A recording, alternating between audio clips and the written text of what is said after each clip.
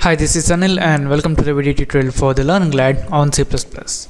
In this tutorial, we're going to be learning something called do while loop in C++. In the last tutorial, we have learned the while loop you know, which is used to execute some statements again and again. And in while loops, we were testing the condition or the expression at the beginning of the loop. This do while loop allows us to execute the statement at least once regardless of whether the expression or the condition is true or false. And uh, the syntax is first we need to write the keyword do then the pair of uh, curly braces. And between these curly braces we're gonna write the statements. And then after this curly braces we're gonna write while. And then in parentheses we need to write the expression. And after that we need to add a semicolon so here what happens is the statement inside this block will be executed at least once. And once that statements are executed you know this expression is checked here in this while. If this expression is evaluated to true then again the statement will be executed.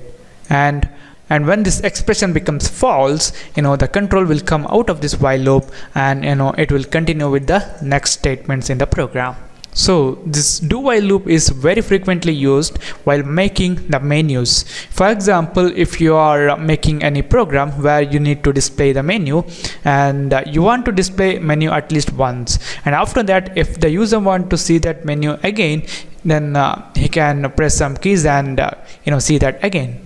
So to do that or to demonstrate this do while loop we're gonna be writing a small program which is going to print some message about the learning lad to the screen. And uh, if the user want to see that message again he need to press any keys. And if you want to quit he can quit that.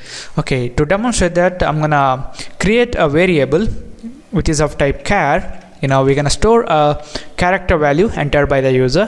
And i'm gonna call it as input. All right and next we need to use the do while loop. So it's going to be do keyword and then a pair of curly braces and between these curly braces we're gonna write the message or the statements that we want to execute and then we need to write the expression inside this while and after that we need to add a semicolon. So here just for the demonstration purpose we're gonna use cout and print out welcome to learning lad and then let's add a new line. And in the next cout statement we're gonna say this is where you will find awesome video tutorials. And again I'm gonna add the new line. And now I'm gonna ask the user enter X to exit or any other key to see this message again. Okay. And uh, we're gonna add an end line again. All right the next thing that we're gonna do is we're gonna receive the input from the user and we're gonna store that in our input variable. Okay now we have some statements inside this block and this statement will be executed at least once when you run your program.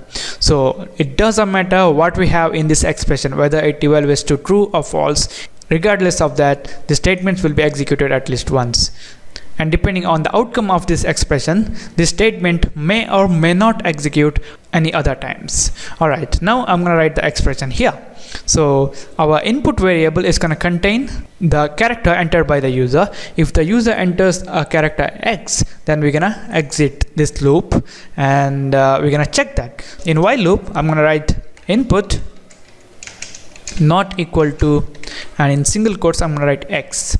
So if the input variable is containing any character other than x then execute all these statements. If the user has entered the x then just come out of this do while loop.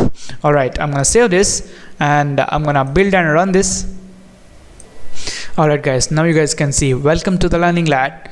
This is where you will find awesome video tutorials. Enter X to exit or any other key to see this message again. I'm gonna enter a key K and hit the enter button again and the message is printed again. Welcome to the learning lad etc etc. Enter X to exit or any other key to see this message again. I'm gonna enter D again that message and I'm gonna enter X that's it you know the loop is terminated so this is it guys. This is about the do while loop in C++ which which is used to loop through some statements depending on the expression or the outcome of an expression. Alright guys thank you for watching and don't forget to subscribe. If you guys have any doubt don't hesitate to ask us. You guys can like our facebook page and uh, stay updated with our new video tutorials. So i'll see you in the next tutorial